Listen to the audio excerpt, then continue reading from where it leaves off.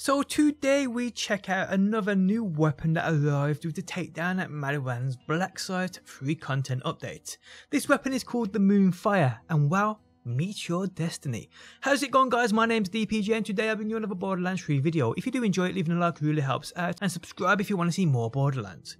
On screen now you can see my weekly giveaway along with last week's winner. To be in with a chance of winning this yourself, follow the instructions on screen now and good luck. Okay, so the Moonfire pistol is an amazing weapon I believe at the moment is exclusive to Wotan, the main boss behind the takedown at Maliwan raid as people seem to call it. I've had a look online and the people who have gotten this so far all did from Wotan on Mayhem 4. But if this has been obtained by anyone else from elsewhere, please let us know in that comments section. This variant was sent to me by my pal for review trolling donkey so credit to him. Doesn't offer any elemental damage, but this does drop indeed offering said elemental versions like the one you can see on screen now. This variant I have anointed to Amara offers after using phase slam, weapon damage is increased by 300% for a short time. The damage this thing packs also is pretty crazy. As you can see it has a 2056 damage. It has a 69% accuracy, 40% handling, reloads in 2 seconds, and a 1.6 fire rate, and a magazine size of 5. It also has a plus 45% critical hit damage bonus, with a plus 65% weapon damage bonus, and a plus 69 projectile speed bonus. Its red text states, Meet your destiny. Now, is this another reference to Destiny? We know the other weapon I covered, the Good Juju, was definitely a reference to Destiny. Well, is this? Well, it could indeed be.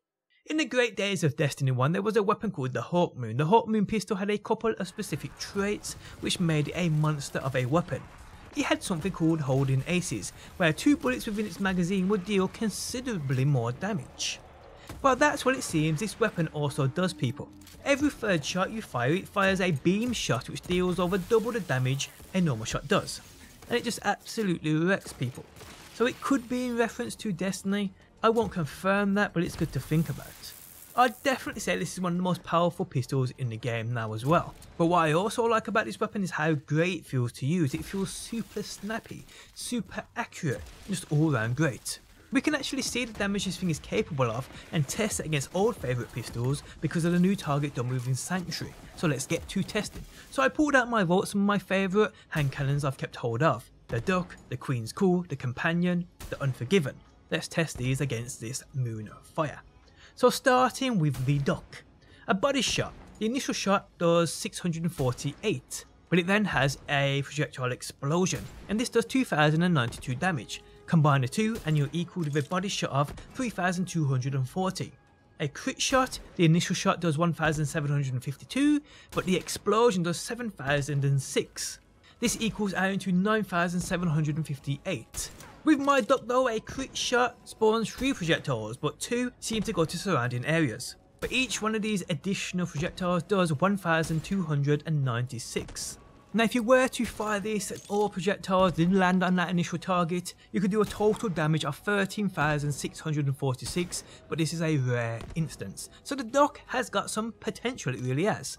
So let's move on to the Queen's Call. This does a body shot damage of 623.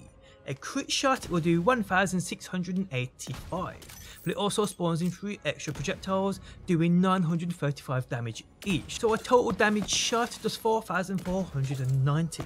The Companion, this is a favourite to many. A body shot does 2091 and a crit shot does 5651. The Unforgiven, which is an absolute monster of a weapon as we all know because of that critical hit damage bonus. To the body it does 1195. A crit shot does 14,000 people. Damn. So let's move on to the Moonfire and see what this thing is capable of. So its body shot it will do 2334. But hitting the body with that special beam shot once every 3 shots, it does 5249. Like wow, that's basically a body shot equivalent to the companion's crit shot, as well as more powerful than the queen's call crit shot. Like wow. Okay, so a crit shot with the Moonfire will do 7557, but its special beam shot people will do 17,000 to that head to that cranium, to that face, to that nostril, to that hole between those cheeks. Actually, I'll cut that part out.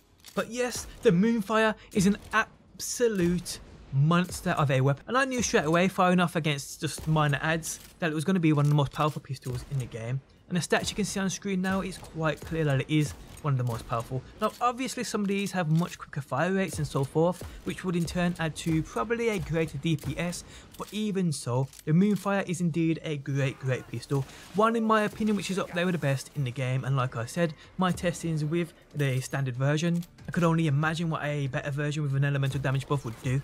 I mean I can't wait to try one of those out.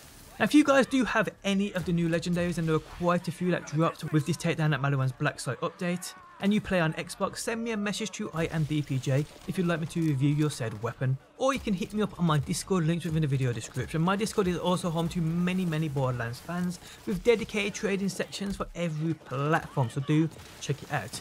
But yeah guys, this has been the Moonfire, an amazing new addition to the game, a pistol which is now set in stone within my loadout, and a weapon at the moment I believe is only exclusive to Wotan on the Mayhem 4, so good luck if you plan on trying to get this. On that note, we have come to the end of the video. If you guys enjoyed it, leaving a like really helps me out. If you're new around here and want to see more Borderlands 3 videos, be sure to subscribe. And if you never want to miss a video I upload, you can turn notifications on by hitting that bell button. But guys, thanks as always for stopping by. Hopefully you enjoyed the video and hopefully I will see you on that next one.